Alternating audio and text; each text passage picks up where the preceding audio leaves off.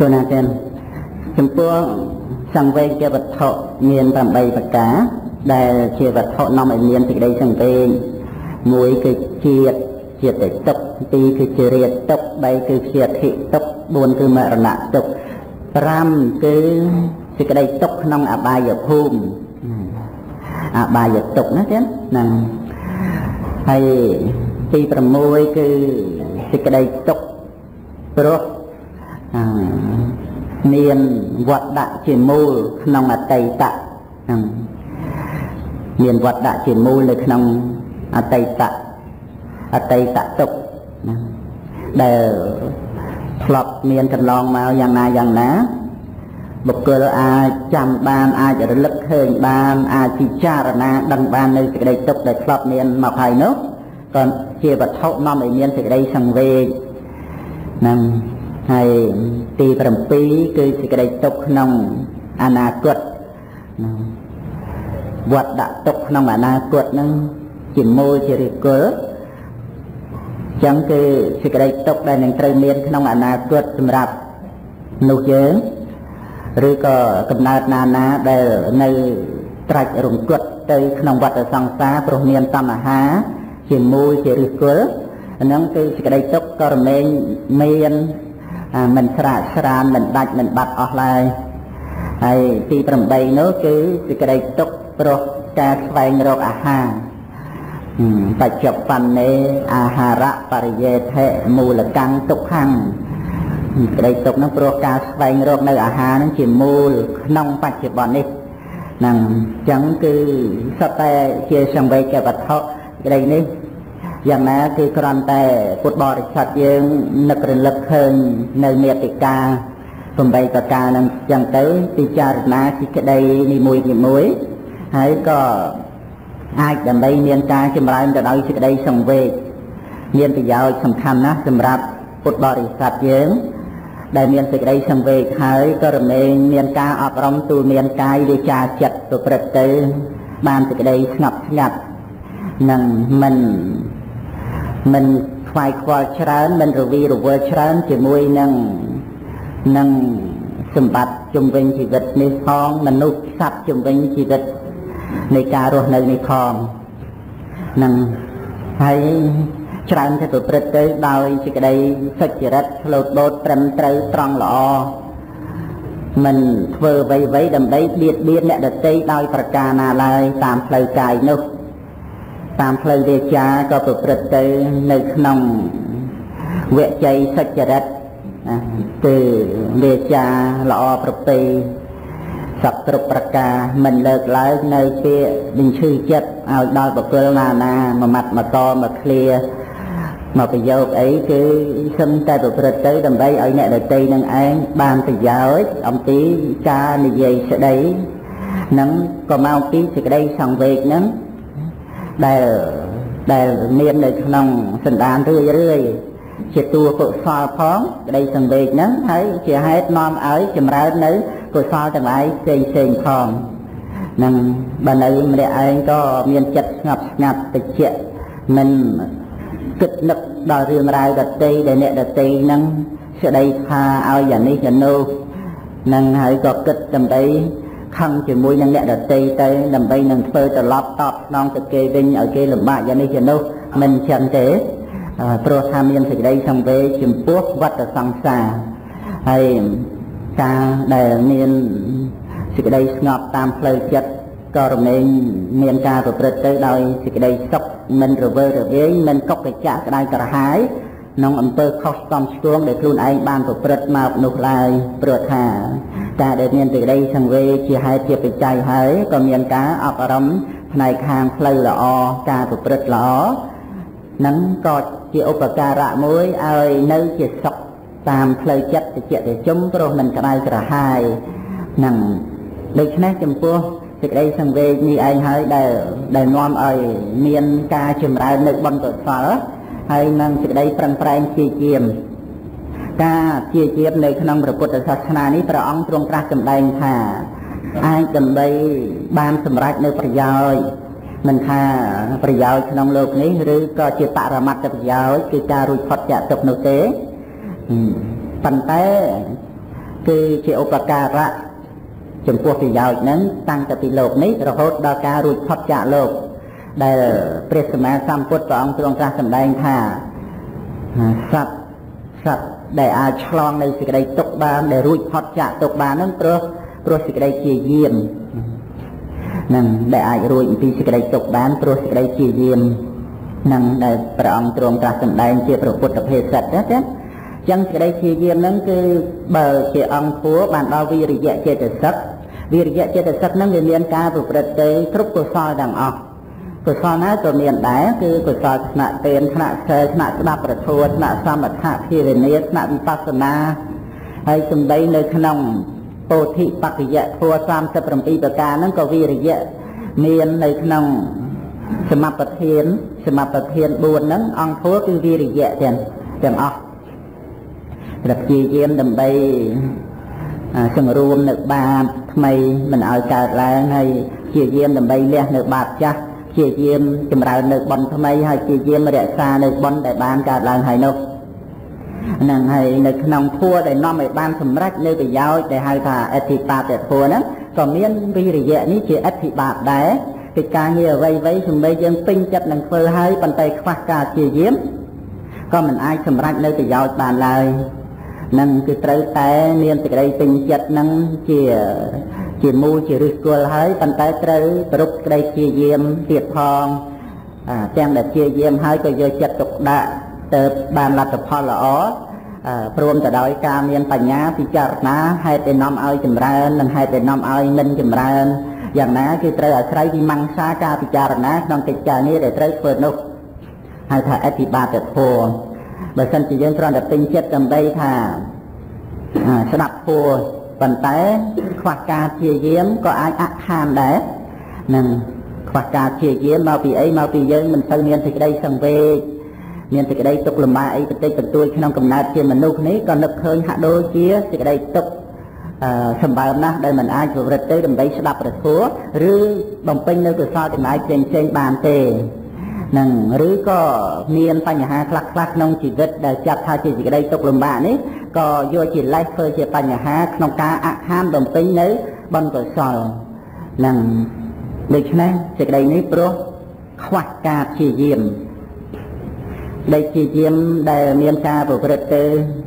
ជាកម្លាំងរបស់បរិសុទ្ធស្ត្រីក្នុងលោកដែលអាចឲ្យសម្រេចនៅកិច្ចការងារដែលជាប្រយោជន៍និងជាគូបរិបៈជាមួយនឹងការខ្ជិលជាអុក ការតម្រុនការរួញរាភាពអស់កម្លាំងនៃចិត្តនោះដែលជាកោសច្ចៈហ្នឹងគឺវិរិយៈជាធัวដែលមានកម្លាំងអាចដើម្បីនឹងកំចាត់បងនៅសេចក្តីខ្ជិលបាននឹងមិនញាប់ញួរចំពោះសេចក្តីខ្ជិលជាវិរិយៈពលៈណាចឹងណាវិរិយិន្ទ្រីវិរិយៈហ្នឹងជាឥន្ទ្រីជាធំណាជាធំហើយ ជាពលៈមានកម្លាំងទៀតឥន្ទ្រីនេះវាខុសគ្នាអំពីអំពីអធិបតីអធិបតីគឺបានសេចក្តីថាជាធំជាអធិបតីជាប្រធានលើសហជាតិធម៌ដែលកើតឡើងណាព្រីបៃដូជាអ្នកធំហ្នឹងព្រីបៃដូជាអ្នកធំហើយឆន្ទៈអាហ្នឹងក៏ជាអធិបតីវិរិយៈក៏អាចជាអធិបតីហើយ អាចិត្តហ្នឹងដែលកើតឡើងហ្នឹងក៏អាចជាអធិបតីហើយបញ្ញាហ្នឹងក៏អាចជាអធិបតីហ្នឹងប៉ុន្តែចំពោះឥន្ទ្រីឥន្ទ្រីហ្នឹងគឺជាធំក្នុងទីនេះមិនមែនដោយសេចក្តីថាធំហ្នឹងជាអធិបតីទេគឺបានដីថាធំគឺបានសេចក្តីថាខ្លាំងដូចជាមនុស្សដែលដែលមានធំហើយជាពលៈមានកម្លាំងកាយក្នុងការប្រហារនៅ សត្រូវពលគឺកិលេសជួនកាលនៅក្នុងកុសលធម៌ហ្នឹងមិនមានវិរិយៈក្រីជាយាមនឹងជាអធិបតីទេតែមានឆន្ទៈជាអធិបតីជាធំ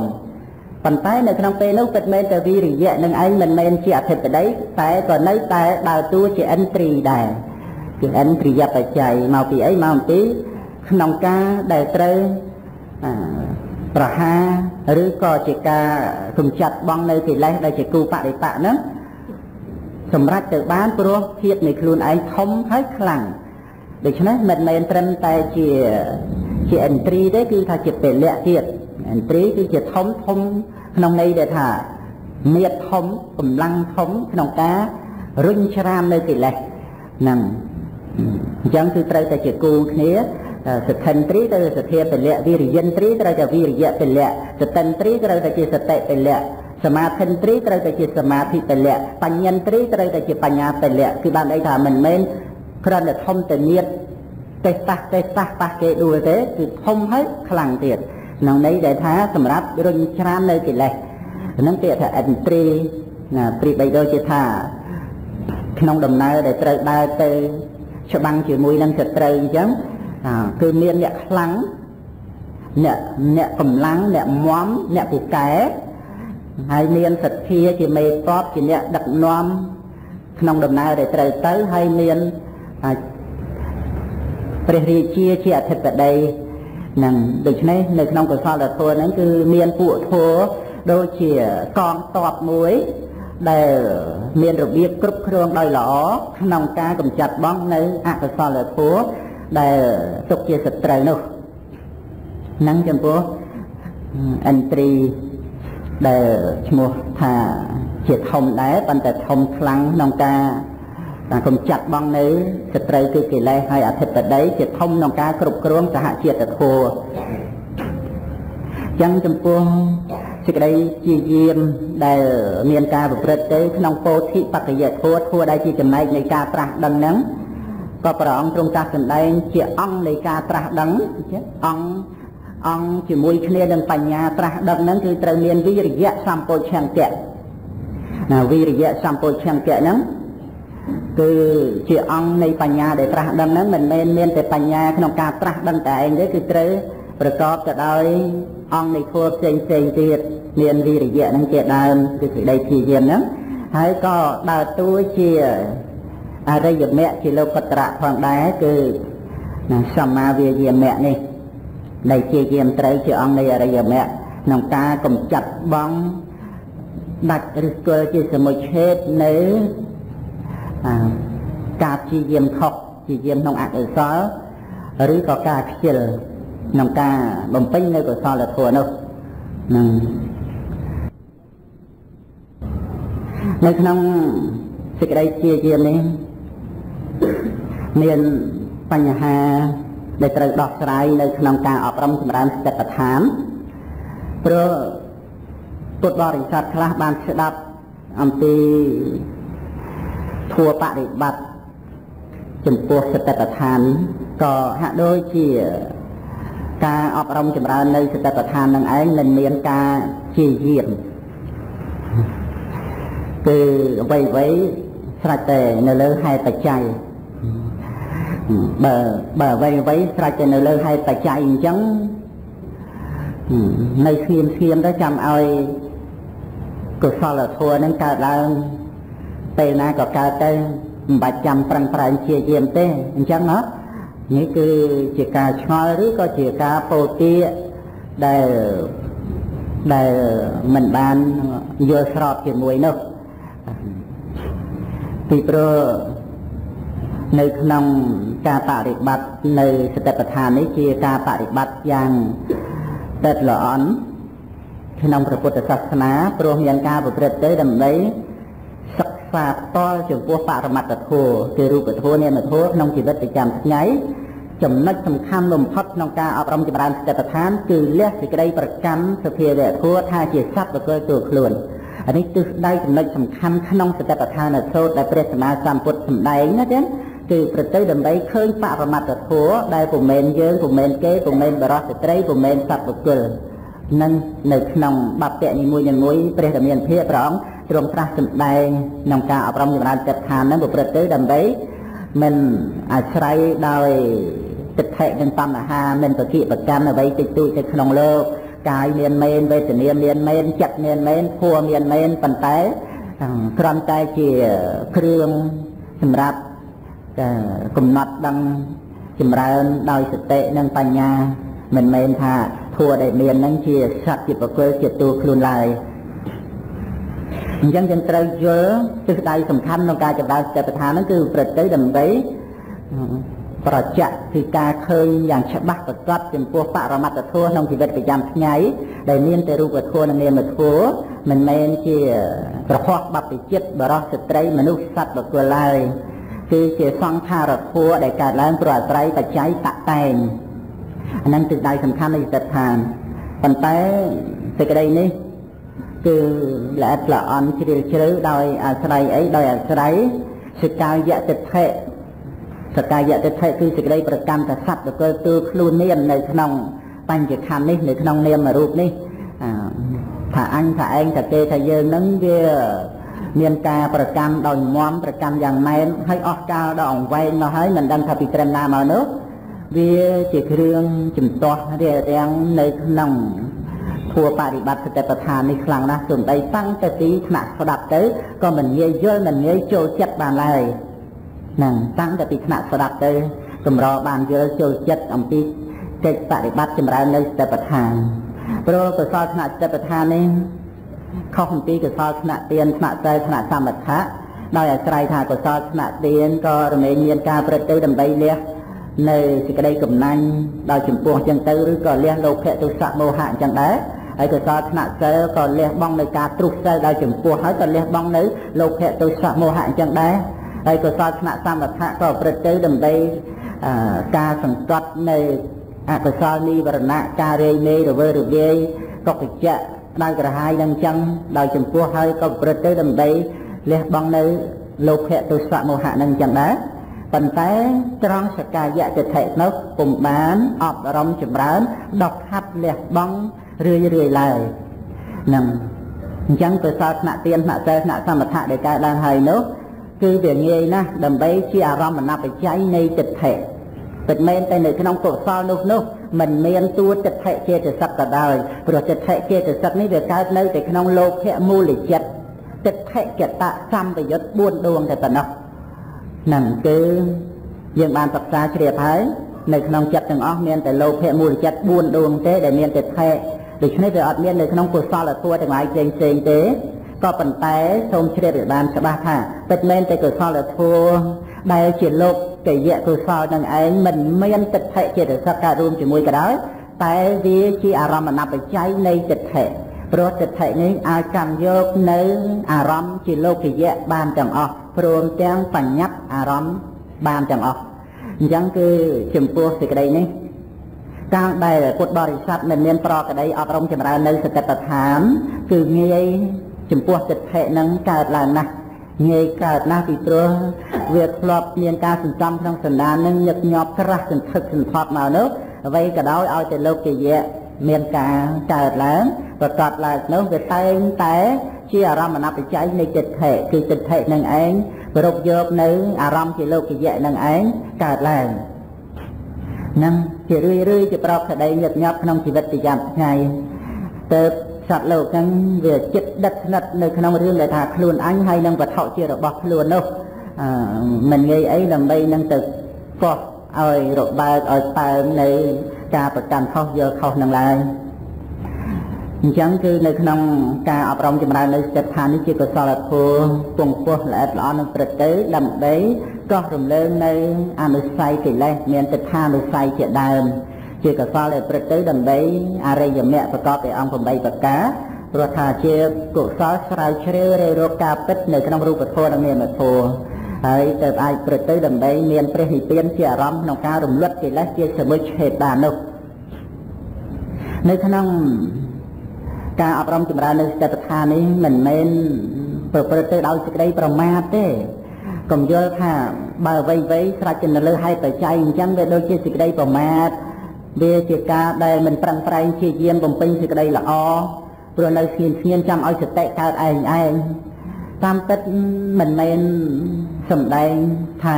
អ្វីអ្វីកើតឯងឯងនោះទេគឺអ្វីអ្វីសត្វតែកើតព្រោះអាស្រ័យបច្ច័យហ្នឹងសូម្បីសតិថ្នាក់សតិប្បដ្ឋាននឹងឯងក៏មានបច្ច័យដែរមិនមែនកើតឯងឯងទេហើយបើថាអត់មានបច្ច័យហើយនោះទោះជា នឹងចង់បាននៅសតិនឹងច្រើនច្រើនប៉ុណ្ណាក៏សតិមិនអាចកើតឡើងបានគ្រាន់តែទៅតាមចំណង់ដែលចង់បាននោះទេនឹងគឺទោះជាយ៉ាងណាក៏ដោយអ្វីៗវាត្រូវទៅសម្រេចអំពីបច្ច័យកើតឡើងប្រត្រៃបច្ច័យបច្ច័យយ៉ាងណាក៏រមែងកើតឡើងយ៉ាងនោះបើសិនជាអត់បច្ច័យទេគឺមិនអាចកើតឡើងបានឡើយព្រោះធัวដែល ដែលឈ្មោះថាអនត្តាដោយអត្ថបង្កប់បញ្ជាមិនបានមិនអាចថាចិត្តទៅចង់ឲ្យកើតឡើងដោយអត់ហេតុអត់បច្ច័យឬបើកើតហើយតាមហេតុបច្ច័យយ៉ាងណាបង្កប់បញ្ជាឲ្យទៅជាយ៉ាងនេះឲ្យទៅជាយ៉ាងនោះវិញខុសអំពីលក្ខណៈធាតុពិតពិតនោះគឺមិនអាចប្រព្រឹត្តទៅបាននឹងមិនមិនស្ដាប់បង្កប់មិនស្ដាប់បញ្ជានេះគឺជាសេចក្តីរបស់ពាក្យថាអនត្តា ឧទាហរណ៍ដូចជាចក្ខុវិញ្ញាណធាតុដែលត្រូវកើតឡើងព្រោះត្រៃបច្ច័យផ្សេងផ្សេងហ្នឹងនឹងបង្កប់ចក្ខុវិញ្ញាណដែលឃើញនឹងឲ្យទៅជាលឺវិញឲ្យទៅជាធំក្លិនវិញឬឲ្យទៅជារូបធម៌ផ្សេងផ្សេងវិញគឺប្រកបអត់បានបញ្ជាមិនបានទេ លក្ខណៈនៃចក្ខុវិញ្ញាណធាតុនឹងឯងត្រួតត្រងនៅលក្ខណៈគឺការដឹងច្បាស់នៅរូបអារម្មណ៍យ៉ាងណាគឺមានការកើតឡើងហើយនឹងរលត់ទៅវិញប៉ុណ្ណោះហ្នឹងมันអាចនឹង បង្កប់វិជាបាននេះគឺការដែលត្រូវសិក្សាការពិចារណាការយល់ចំពោះអនត្តាធម៌ក្នុងជីវិតប្រចាំថ្ងៃហ្នឹងមិនមែនបរោះមិនមែនស្ត្រីមិនមែនសត្វប្រទល់ទូខ្លួនយើងក្នុងមួយលក្ខណៈមួយលក្ខណៈនៃសភាវៈធម៌នោះហើយប្រកាសនៅលក្ខណៈដែលមិនមិនស្ដាប់បង្កប់មិនទទួលបញ្ជាគឺមិនអាចកែប្រែ លក្ខណៈនៃធัวដែលកើតឡើងហើយនឹងឲ្យខុសអំពីលក្ខណៈរបស់ខ្លួនឲ្យទៅជាសភាវៈដតីទេដូចជារឿងអកុសលអញ្ចឹងគឺវាមានលក្ខណៈជាជាអកុសលមិនអាចដើម្បីនឹងទៅកែប្រែឲ្យទៅជាកុសលទេកុសលនឹងអញ្ចឹងដែរនឹងដូចជាកុសលប្រតិក្នុងទានក្នុងសិលក្នុងការស្ដាប់ព្រះធម៌គឺថាកុសលនឹងពិតជាកុសលប្រតិក្នុងការធ្វើទានជាដើមប៉ុន្តែ មានឱកាសនៃអកុសលដែលកើតមកជំនួសក៏ប្រតិជាកំណាញ់ក៏ទៅជាការព្រុសសិលក៏ប្រតិទៅជាអកុសលផ្សេងផ្សេងចឹងទៅឬក៏ដូចជាចិត្តដែលស្មោះត្រង់រវាងភរិយាស្វាមីអីហ្នឹងគឺថាសភាពនៃចិត្តដែលស្មោះត្រង់ហ្នឹងមិនផ្លាស់ប្ដូរមិនប្រែប្រួលទៅជាមិនស្មោះត្រង់ទៅជាក្បត់គ្នានោះឡើយហ្នឹង ប៉ុន្តែចំពោះសង្ខារធัวដែលកើតឡើងហើយមិនទៀងទាត់មិនស្ថិតមិនតាំងនៅសេចក្តីស្មោះត្រង់នោះគ្នាក៏រលត់ទៅវិញទៅដោយអំណាចអាយុសង្ខារមិនមែនការដែលស្មោះត្រង់នឹងវាคล้ายមកជាការមិនស្មោះមិនត្រង់នោះទេហ្នឹងគឺសេចក្តីស្មោះត្រង់នឹងវារលត់ទៅហ្នឹងវាបាត់ទៅវិញគឺជាធម្មតានៃសង្ខារហើយការមិនស្មោះមិនត្រង់នឹងកើតឡើងជំនួសនេះគឺជាសភាវៈធัวមួយដតីហ្ នឹងការស្មោះត្រង់ដោយឡែកការមិនស្មោះដោយឡែកកុសលដោយឡែកអកុសលដោយឡែកព្រោះតម្លៃទាំងពួកនឹងឯងគឺមានលក្ខណៈដោយឡែកដោយឡែកផ្សេងផ្សេងគ្នាកាលដែលកើតឡើងហើយនោះគឺមិនអាចកែប្រែឲ្យទៅជាយ៉ាងដតីបានទេនឹងប៉ុន្តែថាក្នុងការដែលកើតឡើងមិនមែនកើតឡើងដោយឯងឯងឬអ្នកណាបង្កប់បញ្ជាឡើយគឺត្រូវអាស្រ័យបច្ច័យនៃធัวនោះនឹងដូច្នេះការដែលសិក្សាពិនិត្យពិចារណាចំពោះ សភាវៈធម៌ក្នុងជីវិតប្រចាំថ្ងៃទៅបញ្ញាក៏ចម្រើនឡើងនាំមកនៅការចេះដឹងច្រើនក្នុងរឿងជីវិតនឹងចិត្តក៏អាចតម្ដីនឹងមានការស្ងប់រងាប់ព្រោះអប់រំដោយបញ្ញាសេចក្តីជាយាមរមែងប្រព្រឹត្តទៅនៅក្នុងកុសលធម៌នៅពេលណាដែលកុសលធម៌កើតឡើងនៅពេលនោះគឺមានសេចក្តីជាយាមហើយ